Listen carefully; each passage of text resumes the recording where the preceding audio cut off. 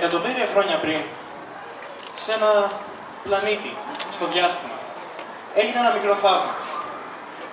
Το φως του αστεριού που φώτιζε αυτό το πλανήτη του έδωσε απρόσμενα, θα λέγαμε, ζωή. Μικροί οργανισμοί άρχισαν να εμφανίζονται πάνω στο πλανήτη αυτό και άρχισαν να αναπνέουν. Και η ανάσα τους ήταν καθαρό οξυγόνο.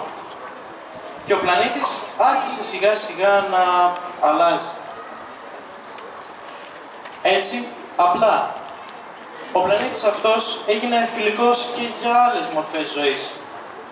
Περνώντας τα χρόνια, ο πλανήτης αυτός γέμισε με ποικίλες μορφές ζωής. Και όλα αυτά, χάρη στο φως του γειτονικού αστεριού και την ανάσα των μικρών πράσινων φυτών. Αυτό ονομάζεται φωτοσύνθεση. Φωτοσύνθεση. Ονομάσαμε αυτή τη θαυματουργική διαδικασία. Η φωτοσύνθεση δίνει ζωή στα φυτά και επέκταση στους ανθρώπους. Τα φυτά ξεκίνησαν να έχουν ζωή σε αυτό το πράγμα και εκατομμύρια χρόνια αργότερα ονομάσαμε γη. Τα φυτά, τα φυτά έδωσαν το οξυγόνο στην αρχή. Αργότερα έγιναν τροφή και για άλλους οργανισμούς. Εξακολουθούν να βρέφουν με την ανάσα τους και το σώμα τους, τη ζωή, εκατομμύρια χρόνια τώρα. Κοιτάξτε γύρω σας. Οι φίλοι μας, τα φυτά, χρειάζονται τη φροντίδα μας για να εξακολουθήσουν και αυτά με τη σειρά τους να φροντίζουν για την ανάσα μας. Κοιτάξτε. Κοιτάξτε. Τι ωραία λέξη. Μάτια χρειάζονται για να λαμβάνουν εικόνες και μηνύματα καθημερινά. Ένα ολόκληρο εργοστάσιο στριμωγμένο σε μια σταλιά χώρο. Όλα από εκεί ξεκινάνε. Σαν ένας φακό ακριβία όπου λαμβάνει μηνύματα ε, φωτός, όπου τα στέλνει σε ένα πανίσιο υπολογιστή, τον εγκέφαλο. Αλλά για να επιτευχθεί η όραση, χρειαζόμαστε και άλλα όργανα.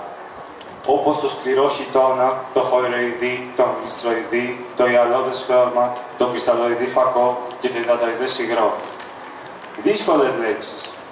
Ίσως, αλλά τόσο σημαντικές. Πόσα πράγματα μπορεί κανείς να δει και να μάθει μέσα από αυτές τις δύο συσκευές;